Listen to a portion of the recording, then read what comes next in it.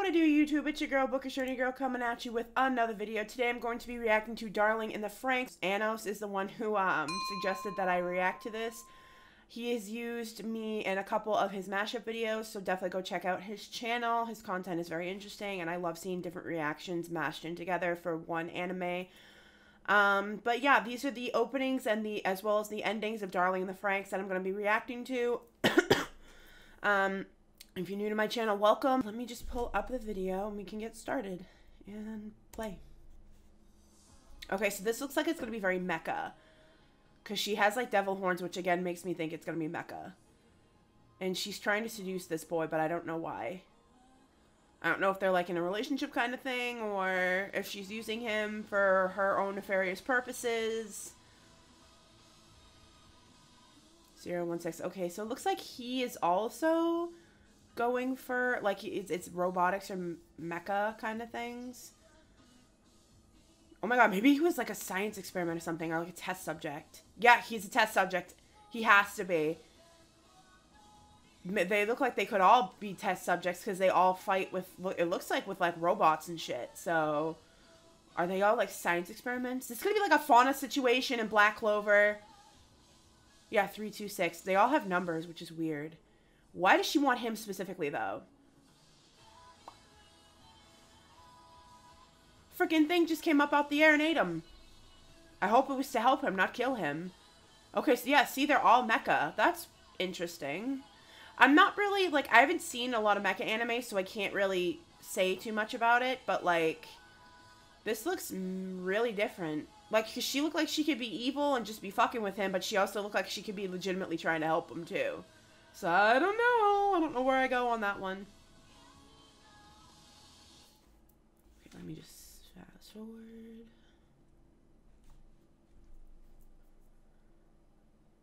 Okay. So now she's falling into the abyss of her job, I'm assuming, and what she has to do. Okay, she fell an angel? Girl got like half an angel wing. Okay. Okay, so he's falling and like drowning in the water. I'm assuming it's, is it because like they lost each other, or and now everyone's just kind of flailing around trying to figure out what to do. A lot of friendships are breaking up too. Ooh. Okay, so the fabric that held them together, a lot of them together, seems like it's kind of breaking at this point. Or they're, yeah, they got messed up, so they're all running. Because they're trying to, it looks like they're trying to save the same girl. Yeah, it looks like they're trying to save her. Why does she keep, like, jumping him? like... Okay, so they, do they share, like, a mecha suit? Because it looks like Neon Genesis, uh, Evangelion could possibly, like, it seems, it gives me those kind of feels. Oh, shit. Looks like rivals are coming through. That's not good. Okay, so she's clearly, like, got a thing for him. Oh, he can't grab onto her because she's gone at this point? Is that why? Because she, like, died or something? I hope that's not the case. That's gonna suck. Or maybe at the end of it, they're all gonna die. So let me just fast forward that. Okay, so this is the first ending. Okay, so this is a different girl we haven't really seen anything from yet.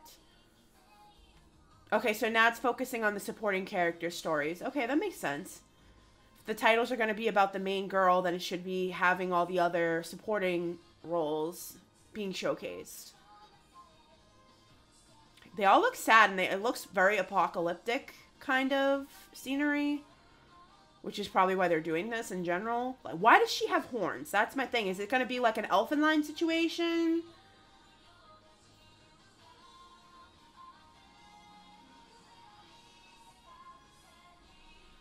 Okay, they're running. Okay. Like, she's clearly running towards something. We just don't know what. And it looks like the world could possibly be uh, post-apocalypse kind of thing, which is why they're doing what they're doing. I'm not sure.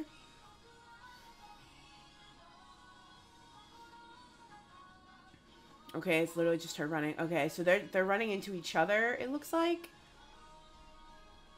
They all might be on the same side, so it would make sense if they're running towards each other. What was the little bird picture of? That looked like a little icon. Do they all, is that, oh, is that the organization that they work for? Hmm. Questions, questions, questions. Of course, feel free to tell me what's going on in the comments below, everyone. Okay, so we're on the second ending for Darling the Franxx. I think there's five endings. Okay. She's clearly that she's very sexual anyway, so this is really not that surprising. They're probably just chilling a day at the beach. It's not a big deal.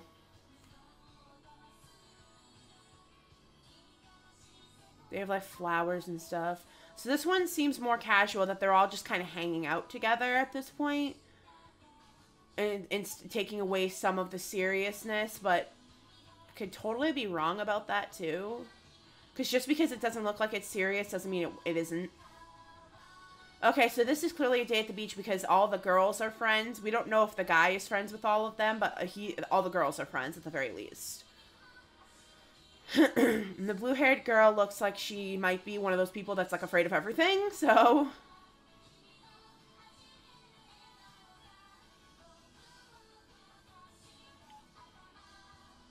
Okay. So yeah, this one was very like relaxed. This one was just kind of a day at the beach. It's probably like the calm before the storm kind of situation. I'm just gonna skip this.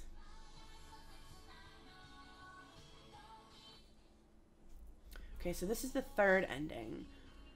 This one's very manga visual esque, which I'm cool with. See, it shows like how all how close all the girls are, so it's not just about the guy from the looks of it, because they're like legitimately friends with each other. So that's always good to know. Like I said, I like the endings sometimes for anime because it does show a lot of the story between the main character and the side characters, or even just the side characters. Okay, so yeah, they're literally just chilling at each other's house. This big ass mansion from the looks of it. Damn. I find it interesting that they're in white because white is supposed to mean purity as well as like new beginnings. So I find that interesting. Maybe foreshadowing in that instance. And then they have the red ties around them and some of they look severed, which means a lot of them could have been this close and then they just kind of get ripped away from each other, which is very possible. That's usually what red ties like that means. Trigger. Okay, so this is A1 Pictures that's doing this uh, anime. Is there a dub for this out? Like, I don't care if there is or not. I'm fine with uh, sub. I'm just curious if there is a dub that's out. Okay, so this is the fourth ending.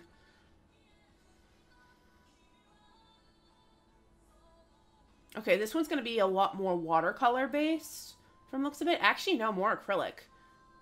It looks. Hmm.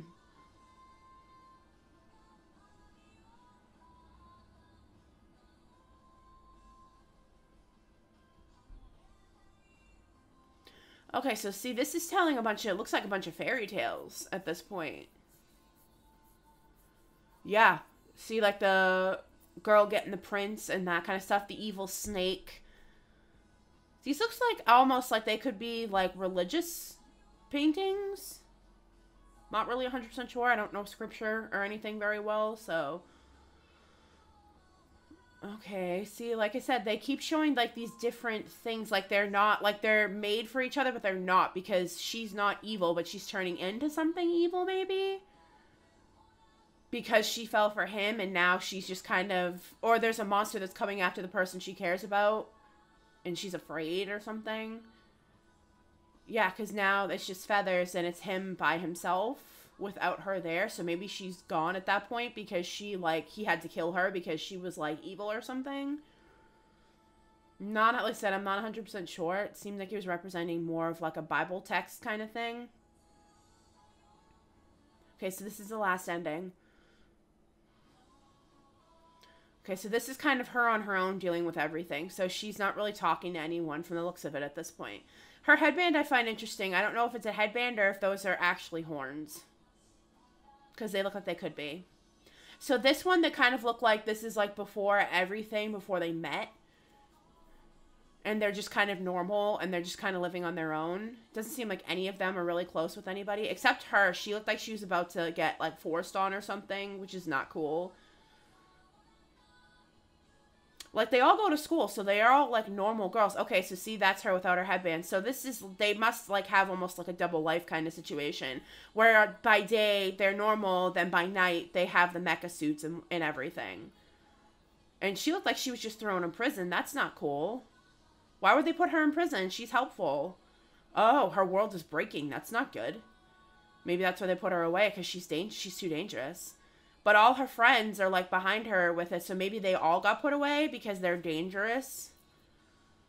Hmm. And there's the red tie again, where it's just left by itself. And at this point, we don't know where the boy is either. So okay, so that is the ending of that. Um, it was interesting. There definitely could be a lot of foreshadowing. It seems like the girls are super, super close in this anime. I don't know if that's necessarily true, but it seems like based on the opening as well as the endings that the girls are meant to be very close.